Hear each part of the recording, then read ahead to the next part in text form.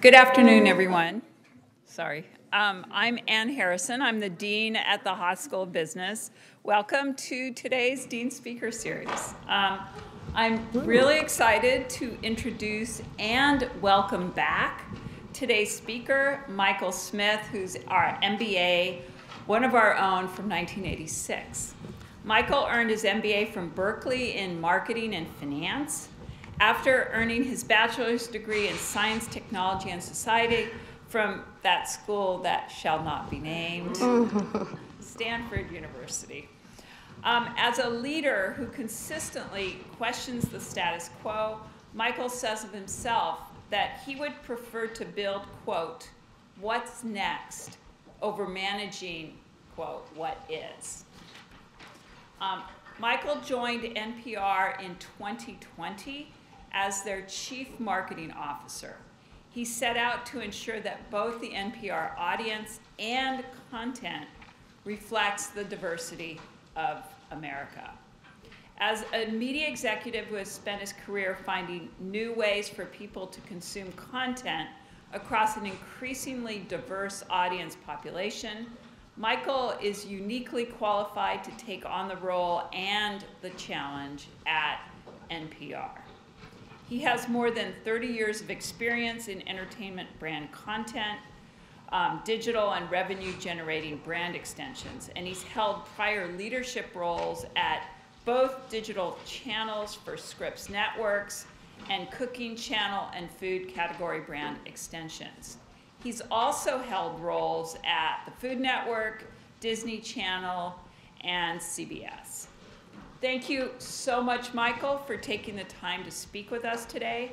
We're very grateful to have you and have you back because we know you were here last year at this time. And it's so great to have an alum here in the room with us, at least virtually in the room with us, and we really look forward to an informative discussion. So now I'm going to turn over uh, the conversation to Mukunda Sastry and Elsie Mora, who are both part of our full-time MBA program, and they will lead the conversation. After that conversation is over, you will also have an opportunity to ask some questions. So take it away. Great.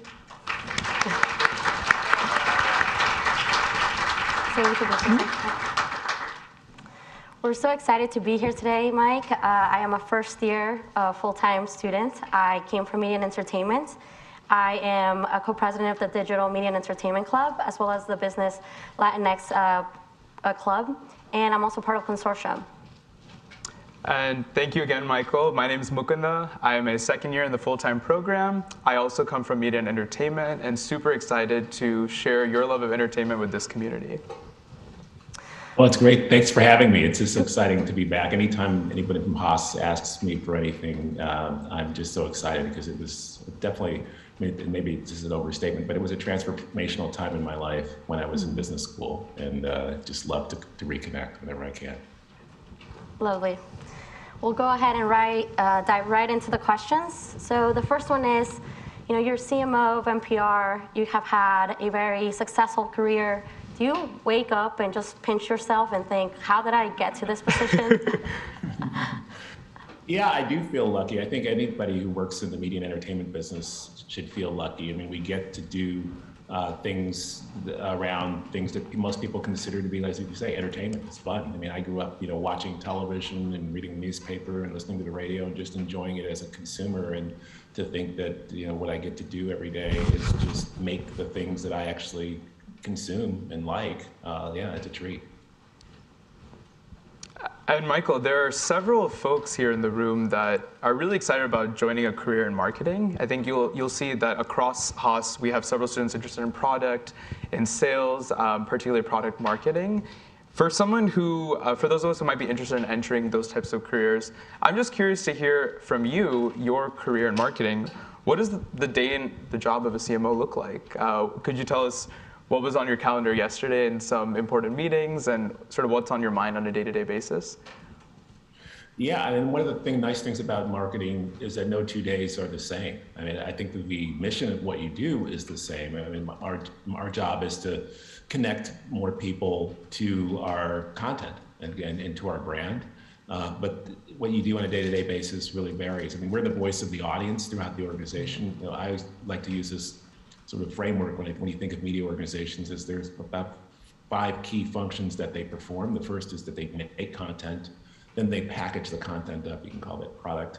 Then they figure out how to distribute that product, where to put it. And then the fourth thing they do is to promote and market the product. And then the final thing is to actually figure out ways to monetize and make money off that product. And we're in that, you know, we're the promotion and marketing people, but we also uh, are part of the audience intelligence um, apparatus within the company, which informs the content making and informs distribution decisions and also informs our our sales, uh, our ad sales department that monetizes the content. So I get involved in a lot of different conversations across all piece parts of the company. I mean, you specifically to your question about what was on my calendar. Uh, I was in a meeting with our distribution team talking about uh, our, uh, our, actually our product and distribution team talking about the NPR One app, which is the our, our audio app that we've created to help people consume you know, our radio stations and our in our podcasts, and we are just having some conversations about how to evolve that app and brand that app, and and whether we wanted to have two apps or one app, or what kind of hmm. features we wanted to have in the app, and and uh, and you know, what our consumer intelligence tells us about that. Uh, and then I, I, had another meeting which was about our organizational structure, was how uh, we structured marketing and, and uh, audience insights and our business development team, which is another group that I oversee, which deals with our uh, licensing and brand extensions and, uh, and what's the best way to structure those. Um, um, I also oversee our design team and, and, we do design around our marketing communications, but we also do design around our, our products as well. And, and there are conversations about the line between UX design, say, and, uh, and brand design. So it's a variety of things. You have a lot of designers and product enthusiasts in the room, so if there's ever any time that Haas students can help out with these product ideations, I think we're open. Yeah, that's one of the interesting things I know from when I first got into the media business that that's evolved is, you know, I talked about the content and then the product uh, or, or, packaging part of it and then the promotion and distribution. But that packaging part was not as salient, you know, 20 or 30 years ago. I mean, you know, media product was, you know, it's a movie or a television show or a, a, radio broadcast, and there wasn't really a package around it. I mean, there was, you, know, you saw it on a movie screen or on a television set, or maybe there was a sort of a CD package or a record or something that you could hold in your hand. But um, the, the digital era has created this whole new thing called an app and the app is the package you know that you experience the media content in and and for i think for consumers that experience of how the product is packaged within the app is you know almost in for some products like a tiktok you know obviously right. is even more important sometimes than the content itself so that's an exciting thing i've seen happen over the last 30 years yeah, and you know, we have heard how you have transitioned from different roles and all the companies that you have worked in. How do you tackle going and working at, at, a new company and smoothing out that transition from role to role, from company to company? Is there any research that you do, any set of criteria or any set, set of steps that you sort of as a ritual undertake before and while you're newly joining a company? Yeah, you know, when I was a student, I was one of those sort of uh, you know, pull all nighters, cram before the, the final kind of mm-hmm. people.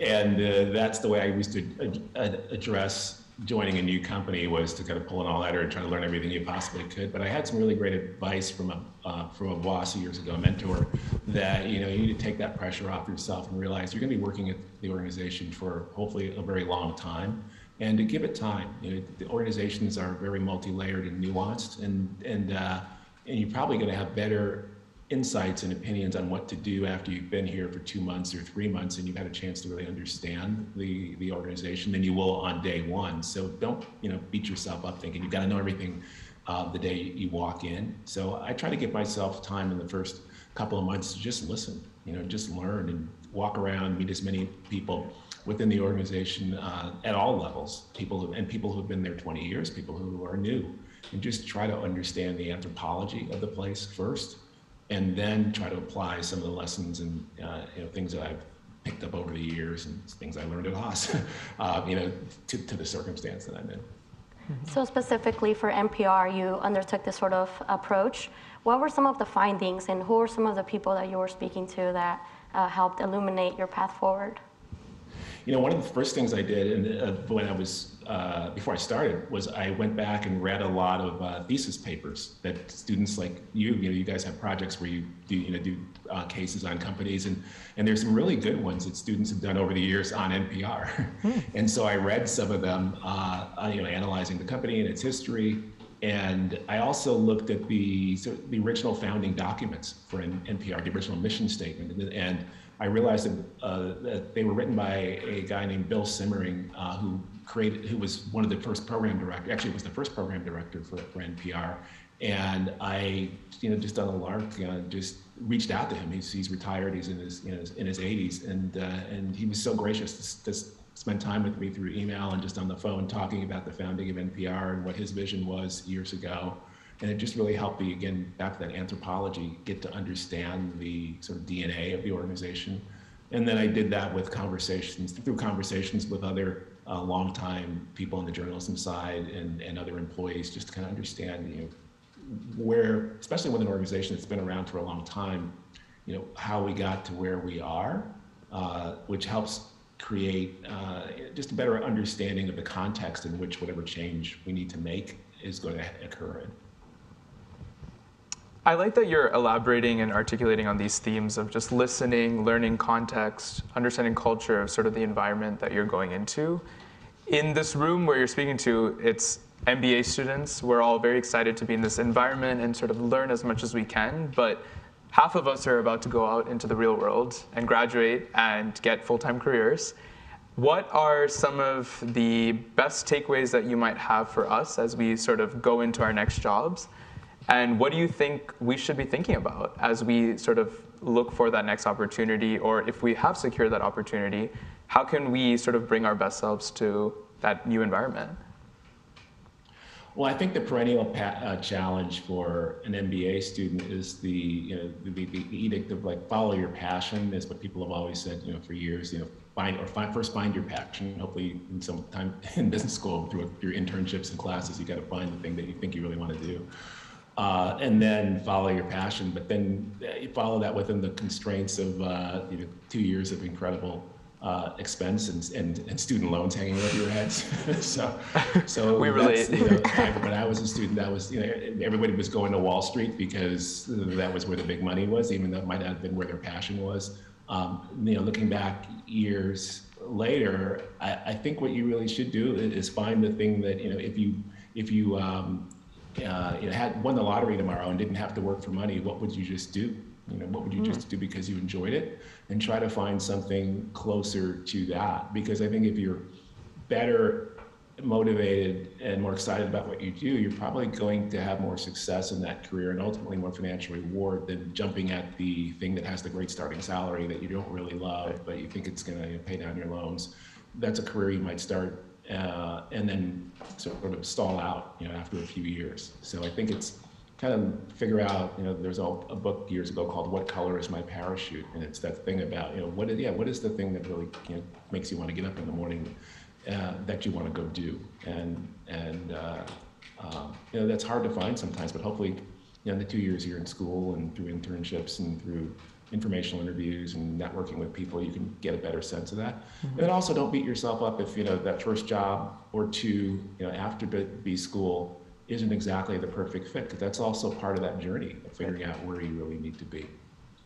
But to that point, then, I guess those, those are some of the successful things we should be looking for. But what about some of the mistakes that you've seen from newly minted MBA grads or perhaps MBAs you've seen in the workforce, uh, what are things that we can be actively looking out for that we should perhaps think otherwise about?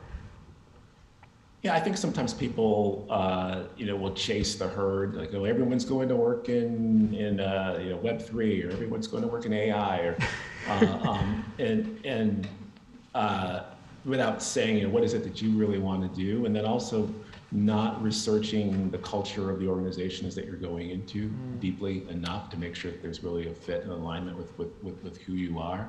Uh, I think that's something I've seen change over the years. I know when I was younger, it was more like you know boot camp. We just figured just get a job at you know one of these big name companies because it's it stamps your ticket for future success, and you put up with a lot of things in the culture and who you worked with that uh, you felt like it was almost like a badge of honor to just kind of get your feet in the door. And I Right. think now people are demanding, no, you know, you, you know, I have a lot of knowledge, I have a lot of skill. It's you know, it's a tight labor market right now, so you guys have a lot of leverage. And let me be more selective and and, and uh, ask people about uh, you know what I'm really going to be getting into. So the media landscape, as we know, is constantly evolving. And even when you started in your position, uh, the world, uh, the pandemic had really taken full force. How have these changes informed and shaped your strategy? And how do you think your strategy is working out um, two years into, into the job?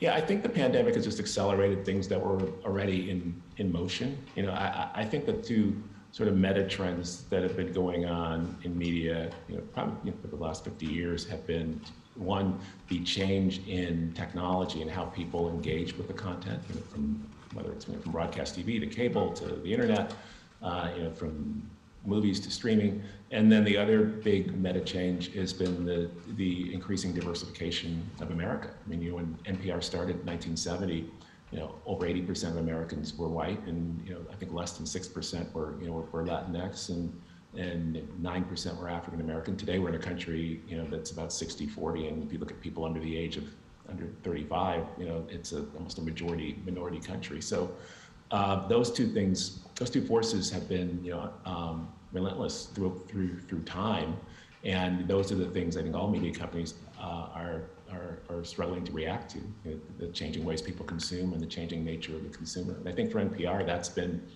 uh, a challenge and, and an exciting opportunity for us. You know, we, we our mission and why we were created it was really to you know, provide an alternative to commercial media and to sort of serve the the media needs of the country that aren't being served by the commercial system, and to talk about the stories uh, that you know aren't always covered, to uh, represent groups who aren't always um, depicted, and uh, to really reflect America. And so that's, in fact, that's the north star of our company uh, strategy right now is to really, um, really be a true reflection of the audience that we serve. And then secondly, you know, we started as a, primarily as a radio broadcast company, and over time, how people consume audio has really evolved, you know, digitally. I mean, it's you know, people stream radio, they listen to audio through smart speakers, you know, they they listen to podcasts, and uh, you know, we've been at the forefront of innovation in those spaces, but that uh, has been uh, you know an important shift that we've had to that we've had to adapt, and hopefully you know, can leverage to, to, towards our mission. And do you find that in your search to broaden and diversify the base, uh, that you are navigating a difficult challenge and retaining um, and catering to the needs of, of your previous base, um, whose demographics and, and needs are um, substantially perhaps different? You know, the, the, the, nice thing for, for us is that you know, we reach people through radio, but we also reach them digitally through stream, you know, through audio streams, and, and, and, and, and more significantly through podcasts. And the audiences, um, if you look at the podcasting audience versus the radio audience, uh, they are very different demographically. And so it's been nice to be able to serve a whole new audience without alienating an old audience. So, for example, you know, there are people who are older and less diverse who, who, um, listen to a morning edition every day and, and on the radio. But then there's a whole new generation of people who listen to Up First, which is our podcast morning uh, news news show, which is you know one of the most popular daily podcasts in the country. But the audience of Up First is you know are people in their 20s and 30s and 40s. It's, you know it's a very diverse audience, much more diverse than the radio audience, which tends to be older. So we're able to, you know, to introduce content that serves the next gen audience, but we also you know put a lot of investment into the traditional morning edition radio sh- show that serves the, the traditional audience at the same time. And I think it's an interesting point just to think about even audiences and how different audiences are. We're at a really unique point in sort of the entertainment landscape in this country and around the world where there's just the proliferation of every single company putting out their own type of content product. How do you think NPR sort of stays independent from all that chatter? Because I think consumers are probably expressing loyalty to two or three services where they're sort of getting all their entertainment options from. How do you envision NPR sort of staying independent and sort of clear of all that chatter and that noise? Well, I think being a nonprofit and being mission driven really helps us because you know we're not just chasing clicks or chasing eyeballs for just pure revenue's sake. We're really um, you know chasing a mission, which is we have a belief that you know the more informed and uh, aware and intelligent the American population is, the better it is for our democracy. It's better better for the stability and just in, just just the harmony within our society. That that's that's the core of why you know, I think public public media exists. And so our you know higher goal is to grow the amount of people that engage and are touched by our content, and uh, and to make sure that it, that we're reaching you know the full spectrum uh, of America. And uh, it's you know not about you know being the number one service or you know competing with this with this guy or with you know with that guy. It's really about making content that we feel like can you know enrich people and making more people aware that it's out there. We feel like we're at a really unique moment in, in, in time. Where, you know, we think about the polarization in the United States, all the misinformation, yeah. uh, the, the, low trust in media. That uh, you know people are looking for. Uh, you know, accurate, trusted, respected, you know, balanced, um, fact-based uh, enriching content. And, and I think this rising thing, I think, it was to me when I came to NPR was that when you think about the, the brand awareness of NPR, it's, uh, you know, it's, it's in the 30s. You know, almost 65% of Americans uh, are not aware of the brand, um, which mm. would surprise a lot of people, probably you know, in, in our circles and the kind of more um, highly educated circles. So there's a huge swath of the population that we need to reach by just making them aware of you know this this really quality um, content that we have. And, and we found that when we when we put it in front of people they're you know they're pleasantly surprised. It's like i never heard of that. Um, uh, um, but this is amazing stuff.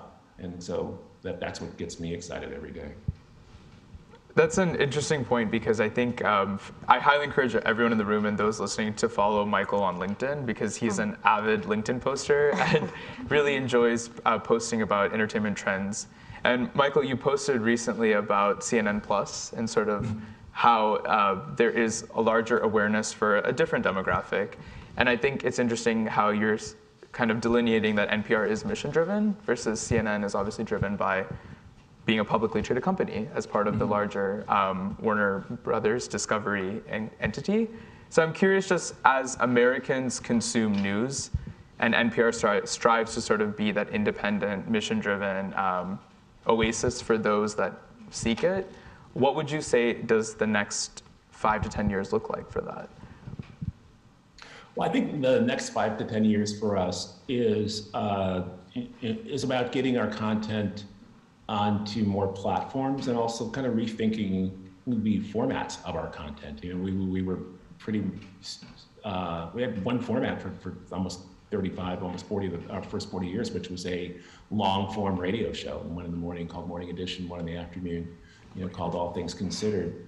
And uh, now we've really been innovating with different forms of content that still provide the same benefit and serve the same mission. So whether it's you know a 10 minute podcast or a uh, 30 minute podcast or Insta or a, a, one minute Instagram video or a two minute tick, TikTok video, which are you know, things that we're doing right now. Mm. Uh, you know, in the culture space, we've, we've always been a place where you could listen to, you know, and discover uh, outstanding artists, sometimes undiscovered and underappreciated artists, and we would have radio shows where you would hear, you know, jazz concerts or classical concerts. And we've really been innovating on YouTube with, with, with short concerts with, and concerts in a very unplugged, unstructured way. We, we started a series where, where the concerts are actually performed in front of a small desk in our, in, in, in our office called the Tiny Desk Concerts. And, uh, and that's you know, become one of our most popular co- content outlets. Uh, so uh, I think that that you know, more video, more short form uh, things in different kinds of platforms, uh, just experimenting with with all the ways that you can enlighten and enrich and inform people. Mm-hmm. One last question before we switch gears, um, just pertaining to entertainment and media. So again, Michael, I've uh, talked to you about how this room and sort of the broader Haas community in general, uh, aspiring consultants, uh, folks interested in product, big tech, um, real estate, finance, you name it, uh, social impact. What would be your elevator pitch to Haasies and beyond for entering a career in this space, where this is perhaps more of a smaller industry preference and choice for those entering. Um, how can we convince Haasies and broader MBAs to sort of consider a career in entertainment and media? Well, I think entertainment media, if, if you think about the impact that it has in people's lives uh, and how that's grown in, over the last, say, 30 or 40 years, you know, you're definitely working in a part of uh, industry that, you know, makes a difference and really has an, an influence uh, uh, on, on the world.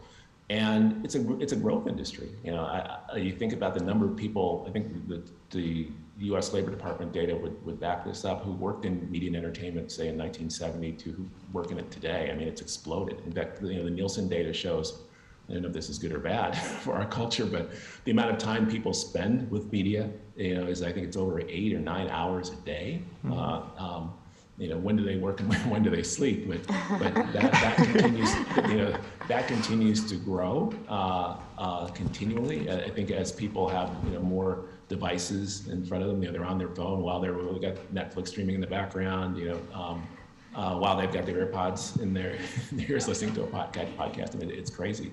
Um, so uh, there's, uh, so you're in a business that is, you know, exploding in size and scale uh, with uh, uh, an, an, increasing societal impact and importance. Um, so I think that's, an, that's, that's one of the exciting things about being in the business. Here's a fun one, Mike. Uh, in your LinkedIn profile, you state that you know a little about many things and a lot about what you still don't know. What are some of those topics that you are not very knowledgeable in, and how do you go about bridging that knowledge gap? Oh, yeah, I think uh, NFTs. Uh, let's say cryptocurrency. Uh, wallets, yeah, CRISPR gene editing. Um, I mean, there's a lot of different. Uh, t- I, I'm a real, you know, polymath who just I'm just curious about a lot of different things. But I think because I'm so curious about so many things, I tend to to not go deep on uh, um, many things. So I have a long list of things I wish, you know, like books I wish I could read or lectures I wish I could uh, attend. Um, but I'm really, I've always been fascinated by, um, uh, and it's why my undergraduate degree was in what's called science, technology, and society. So I've always been fascinated by the intersection of culture and tech. And so that's why things like you know the metaverse are super, you know super interesting to me. Um, and uh, just having time to go deep on that stuff though, because it is you know so nuanced and complex. So, uh, as we think about um, our careers long term, um, something that Elsie and I talked a lot about in preparing for today is we both come from environments that were largely homogenous in um, the entertainment media industry. And as both of us, as professionals of color coming from the entertainment world, it was tough. It wasn't easy to sort of look around and not find people that look like us or executives that sort of were advocates and champions of our own progress. And so we're even more delighted that you're here with us to sort of share on your journey. I'm just curious to hear from you about, um, especially for candidates of color dealing with primarily homogenous environments, um, what types of questions should we, we be asking of our future employers, whether it be entertainment, media, or anything beyond, any industry beyond, to ensure our own psychological safety in the workforce and to ensure that we are set up for success to continue growing and being the best versions of ourselves? Yeah, I think we're at a really exciting time because, you know, when I got into the business in the late 80s, early 90s, I mean, you know, there weren't a lot of Mukunda, Mukundas and, and, and, uh, and Elsies, you know, um, you know, even just the names, you know, I mean, I mean so. You know, a lot of Bobs and, and Carols. So, so it's just, it, it, it just the, the feeling of inclusion was so different then. I mean, I, I, we were just people, you know, my generation, I think we were just happy to have a foot in the door and mm-hmm. and not even you know be at the stage to say to, to what you're saying, like to, to, demand that you know that there be inclusion, or what are you doing to make people like me feel safe and comfortable? We were just like just happy that we're the first ones to even be right. in these companies. Um, but you know, hopefully, we paved a way to where you've gotten to a stage where yeah, you can ask those kinds of questions. You can say, you know, wait a minute, it's not just about do you have a few people in your company, but you know, what's your your your, your culture? You know, is it just part, is it woven into the fabric of your culture, inclusion and, and, and diversity? And and um, I think the thing that I've noticed too that, that that's it's so much nicer today is that yeah, just the way people dress, the way they speak, the the you know, to hair hairstyles, to that you can just show up as yourself, and it's really about just the work. So if you're, you know, you're made, is, is, is it a good podcast? Is it a good movie? Is it, you know, are you making things that uh, that resonate with the audience? And who cares about, you know, how you, you know, how you how you dress or you know, um, or all these other sort of uh, superficial things that, that used, people used to use to, to, to really segregate and discriminate against people.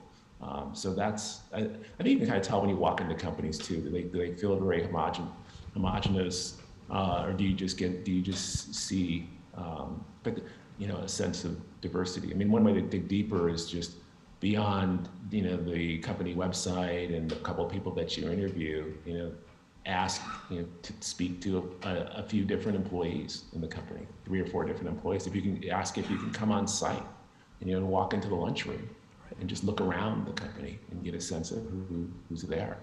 Uh, you know, seek out people maybe on LinkedIn who you know were former employees of the company to get you know a, a perspective. But yeah, I think it really be you know, do do do the due diligence uh, uh, to understand and to that point, I guess, how do you, as Michael Smith, show up authentically to work every day at NPR as a CMO?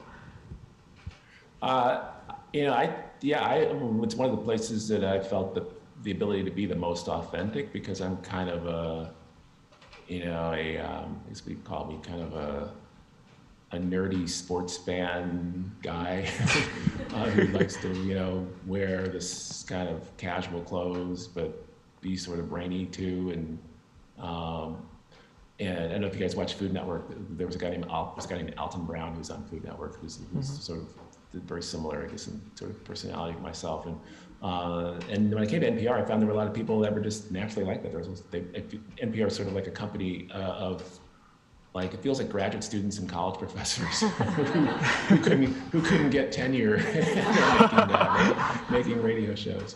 Um, but you know, really, you know, really, and, and really committed, dedicated journalists to people, just people who are committed to helping other people understand the world better, uh, and are just comfortable with um, being themselves and doing that. And uh, so it's a really, I feel, fantastic organization in, in, in being able to show up as yourself. Mm-hmm. Uh, but not all, yeah, all companies are, are like that. And it's it's really reassuring to hear that that you can find that in future corporate environments. Um, something that we talk a lot about at Haas, especially within the student body, is sometimes just the feeling of imposter syndrome, feeling like you don't belong, or feeling like sometimes you maybe not be as good enough as your peers or your fellow classmates, and that can often get to your head and it can cripple you. I'm curious in your role uh, as a CMO of such a large organization, have you ever felt that imposter syndrome or that feeling of fear of how can you keep up with sort of the demands of the role? And what are some ways uh, in which you've overcome that if you have felt it? Yeah, I, yeah, I've thought a lot about that when you, when you, when you guys provide that in advance about imposter syndrome, and I, I think you know, maybe it's a it's a it's a factor of just uh, the, the age we're in. I mean, when I was coming up, I didn't feel a sense of imposter syndrome because there were so few people like myself, and it seemed to be you know, such a challenge to overcome pre uh, you know, preconceived biases against people of color into what your potential could be. So it, well, I didn't have the luxury of people thinking that I was more than I was and I was an imposter. it was more uh, they you kind of had to prove to them that you weren't what they thought you were and that you actually were smarter than uh, uh, and more capable. Uh, uh I, you could say that today uh, there are so many more opportunities. Uh, I think it's never been a better time. Um, you know, it's still long from perfect, but it's never been a better time to be a person of color going into business. And companies really are you know, leaning in and looking to diversify and um, looking for you know highly qualified people of color. And so, uh, you know, sometimes that uh, focus and you know people patting on the back and saying, "Oh, we're so glad you're here," and you know, and, and you know, we're trying to diversify and we really need you. And and then you, you you get brought in and you probably do feel like, "Oh my God, you know, am I really as good as I think that that I am?"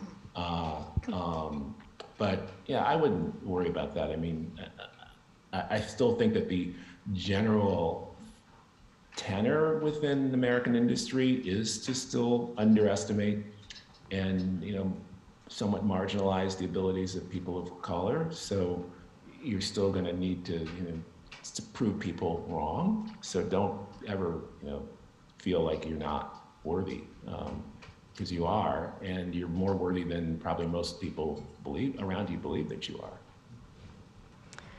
One other question, since we spoke about having um, done due diligence prior to working at a company, um, certainly you did, you spoke to employees, but you were still from the outside looking in, um, definitely not the companies, but I'm speaking specifically about NPR. What were some of the findings that you know you only really gain insight um, to once you're in that may have surprised you that you didn't expect?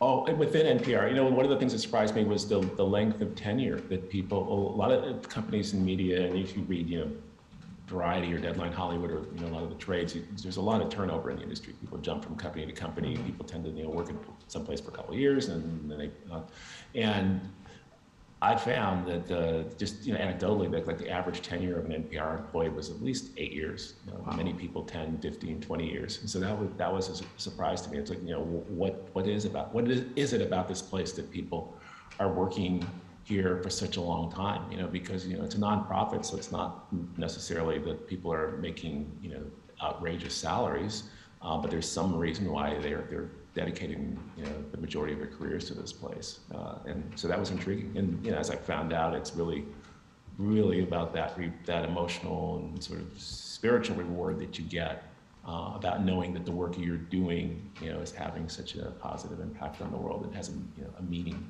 uh, you know, a deeper meaning. Yeah. We're almost at time for um, audience Q&A, uh, but before we do that, I just wanted to thank you again, Michael, for always being uh, such a consistent advocate for people of color, for executives, for sort of amplifying talent in any way you can. It really, it just, it's so wonderful to see and experience. And for those who may not know, Michael just casually responded to a LinkedIn request that uh, we had sent him, and sort of that's how he participated with us today. So it's just so lovely that you're uh, such a wonderful support, source of support and guidance and mentorship for us here at Haas, and we just really appreciate all that you do for us. Well, thank you very much for having me, and, and you know, great credit to, to the two of you and, and the rest of your uh, you know, teammates on having these kinds of opportunities uh, for students to you know to hear other perspectives and hopefully get some advice that helps them. Thank you.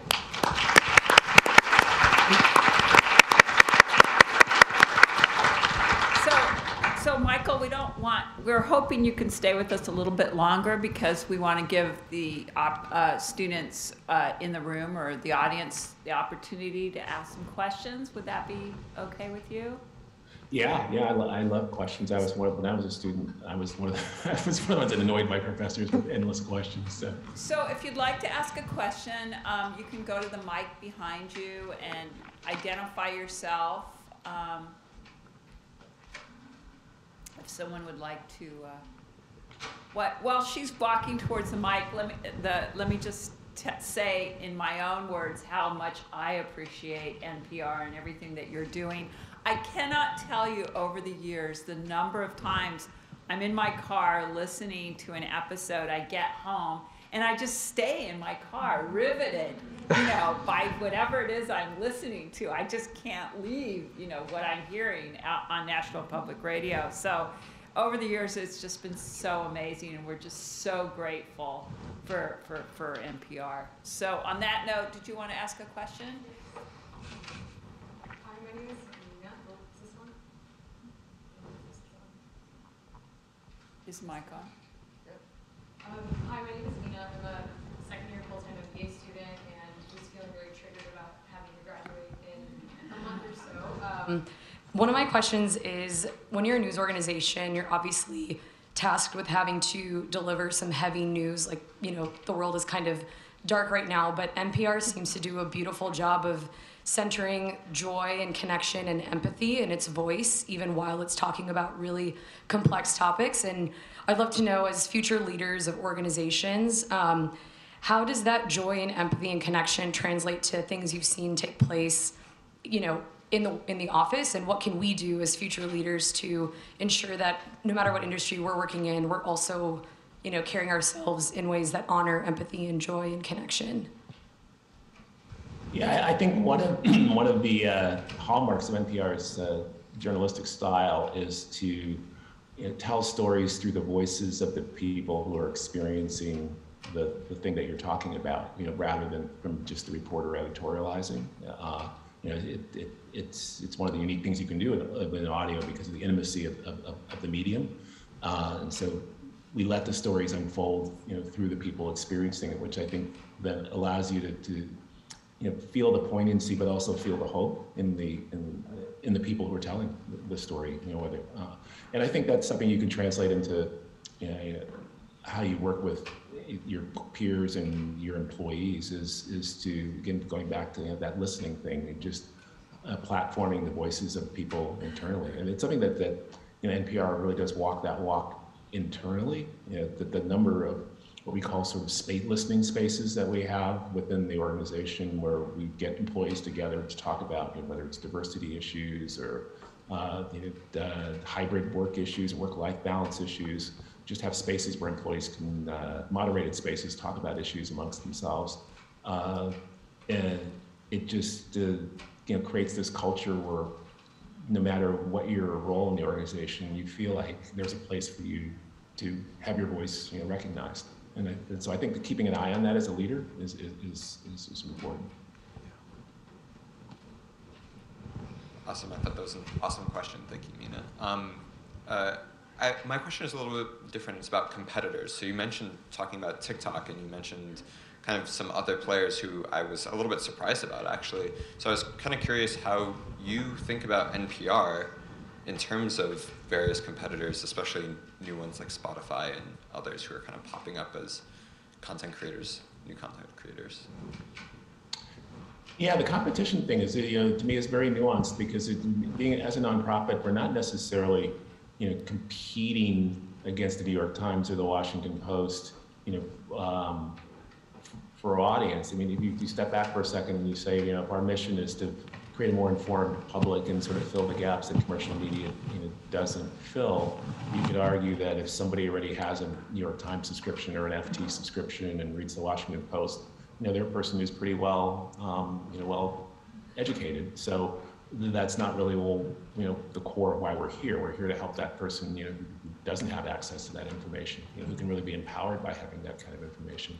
And so, uh, you know, when we compete with them, is more in terms of the resources to do what we need to do. So you know, we do earn a, earn a significant amount of resources through sponsorship sales or advertising. We call it sponsors that buy uh, messaging in our in our content.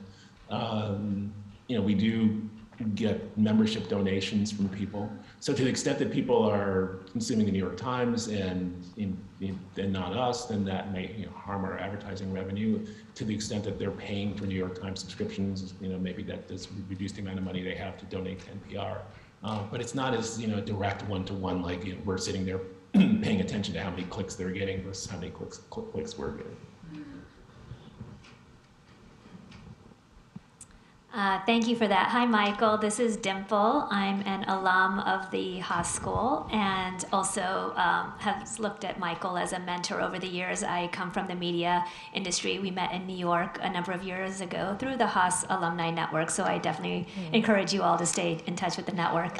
Um, my question for you, Michael, today is one thing I know about you is that you've always been super innovative wherever you've been in terms of pushing strategy forward in a very unique way that hasn't necessarily been introduced to C levels in the organizations you've worked for.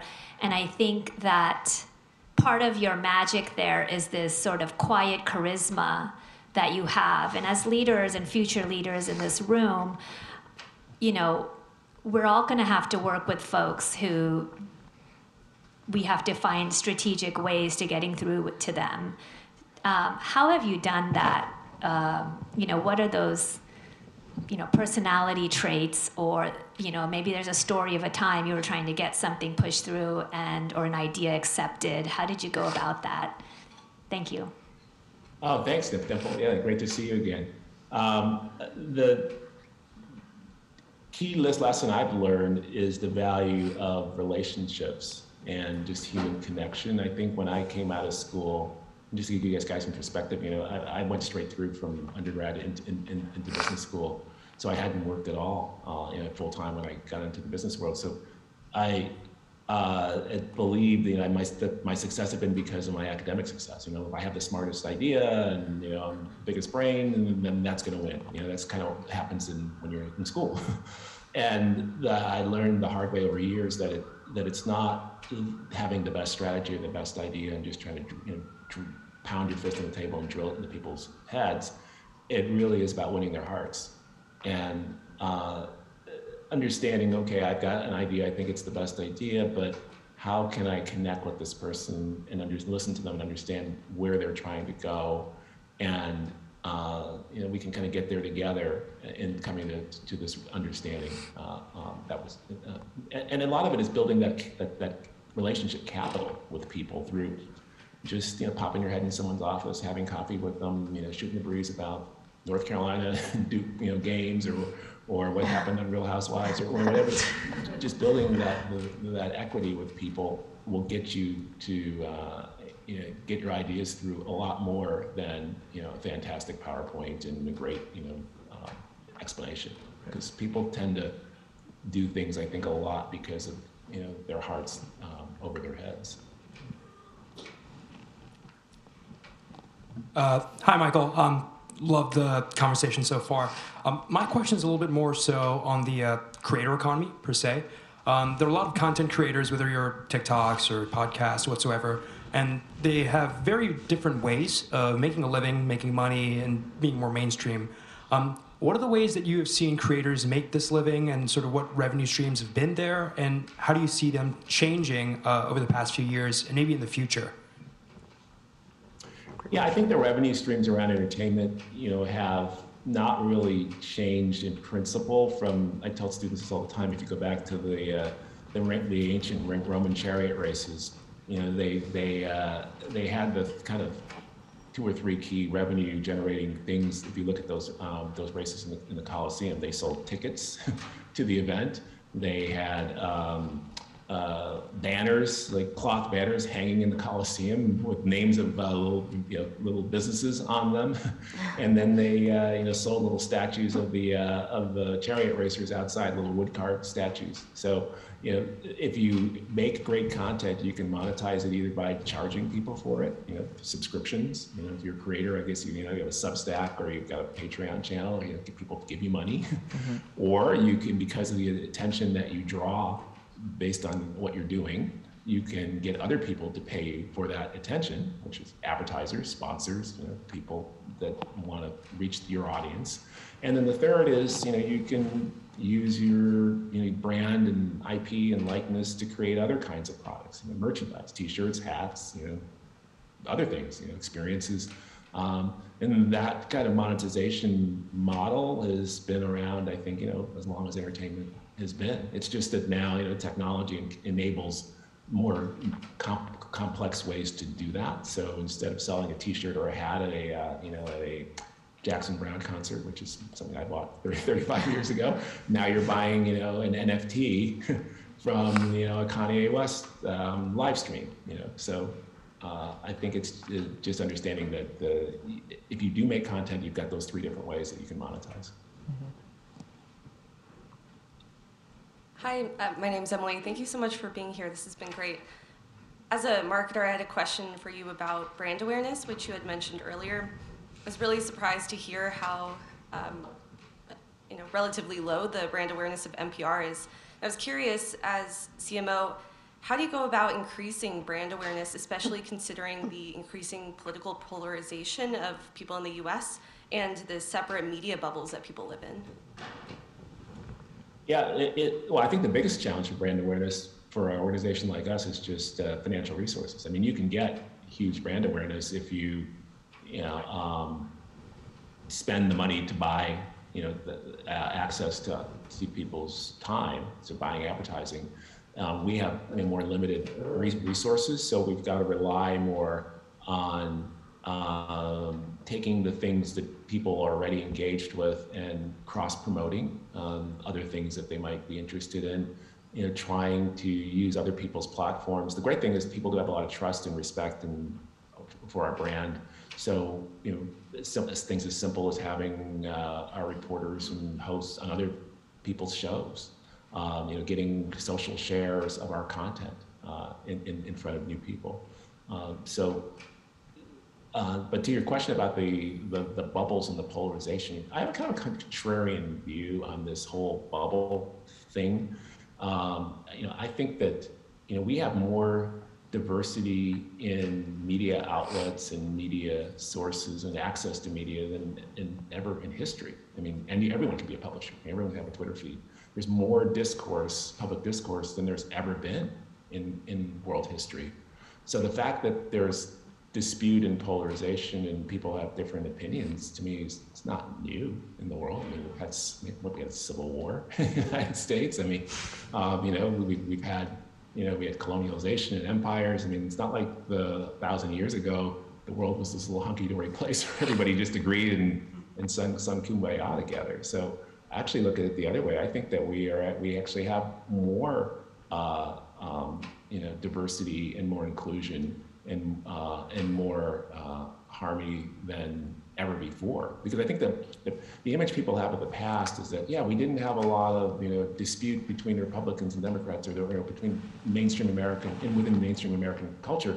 But what they forget is that there were big groups of people who were just excluded from mainstream American culture. So yeah, you know, all the you know cisgender straight white men all agreed but you didn't, there was no, you know, Native Americans didn't have a story, you know, gender non-binary people didn't have a story, African Americans didn't have, no, nobody else was at the table. So you could say, yeah, we all agreed it was a great America. Now all of a sudden where everyone's sitting at the table finally, or starting to sit at the table, and people are upset that, well, wait a minute, we're polarized. I don't understand why we don't agree anymore. It's like, well, because you didn't let us in the room before to, to disagree with you. Yeah. Thank you. Hi, Michael. Uh, my name is Tar Glenn. I'm actually an undergraduate student. I'm a junior at Haas right now. And first off, I just wanted to thank you for uh, coming back. It's very motivational uh, seeing a black man come back and uh, pour back into the students. But I just wanted to ask you, being in such a successful role and uh, being a black man, um, what would you, what advice could you give me for someone like a young black man who's aspiring to be in a similar position like you, but having to overcome adversity during that uh, process? Oh, okay. You know, one thing you talked about, uh, thank, thank you for, for, for, for, that comment. You know, it just made me think about how far we've come in terms of progress. Um, when I finished at Haas, I remember being asked to come back, it was maybe like only a year or two after finishing, uh, to talk to students, uh, to be an inspiration to them This is a time when there were hardly any black students at Haas, and so some guy who's 20, 26 years old who works in New York is considered to be an inspiration to the few students that we had. And now, I guess it takes know, being the CMO of NPR to be, be able to come back. So, so, it's great. It shows that, that, that, that, that, we've come a lot, um, that there's a lot more people like you um, out there, which is which is fabulous. But um, but yeah, to your question about you know um, how I guess keys to success. You know, I, I think that the the one lesson this was taught to me years ago is that uh, there's this arc that happens, especially for for black men, male leaders, that uh, we tend to not do as well in, in, career advancement early on, but then tend to do well later in our careers. And the, the paradox is because oftentimes when you're younger, there's this sort of these, these preconceptions and you know, stereotypes about you. And so people tend to pass you over for opportunities. But you keep your head down and you keep learning and you keep getting better and you keep getting stronger. And people who get the chances ahead of you flame out. And then what happens often, this happened in my career, they come back to you later down the line and say, oh, you're still here? Well, you know what? We got this big, the house is on fire. We tried everybody else. And you know what? Okay, put this guy in. And, uh, you know, and then, and because you've been preparing, you actually knock it out of the park. Uh, and, uh, that's, that's happened to me in, um, multiple times in, in my career. But, um, you know, I, so I, I think that that fact sometimes that we are overlooked, it, it, it though creates a quiet strength and it creates a, um, uh, something that people, I think hopefully now are realizing that, that we need to tap into more. Thank you. Hello, Michael. I am also an undergrad student here at Haas studying business and media studies. Thank you so much for the pieces of knowledge that you've shared with us this far. Um, a question that I have for you is as you have navigated your journey for over 30 years, um, early on in your career, what helped you develop a niche and kind of have that clarity in pursuing um, your, like the role that you're currently at, or do you see that coming? And kind of how do you navigate that journey? Um, I would say personally for me, I'm currently, you know, as an undergrad student, um, seeking to develop my marketing aspirations. Um, it's been a, a, bit of a challenge to kind of find that niche and see where I can merge my passions and my uh, talents. So, what advice would you have for someone who is currently navigating that space? Yeah. Oh, thanks for the question. Yeah. Yeah. I, I think that that uh, you can't really understand what you like to do unless you do a lot of stuff. Yeah.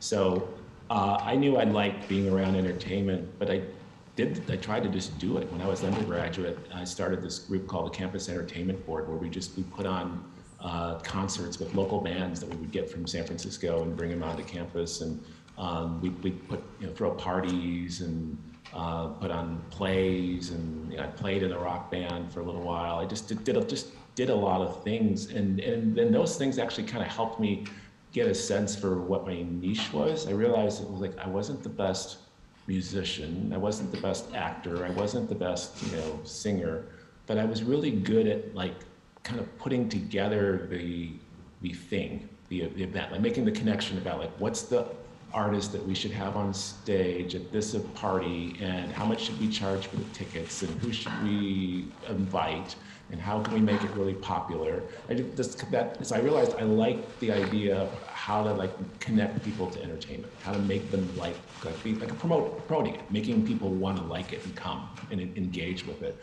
And by doing that, I got to be around people who were much more talented than me, better guitar players, better actors, whatever. But uh, but my role was to like make a, a spotlight shine on them.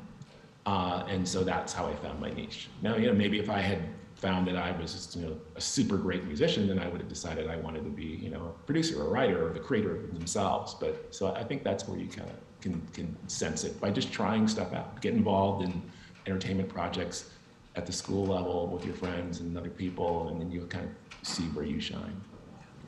Amazing. Thank you so much.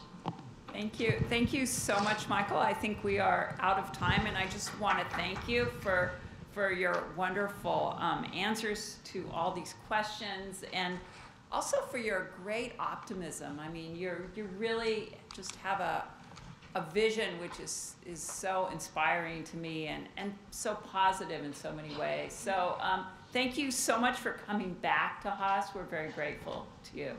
Thanks.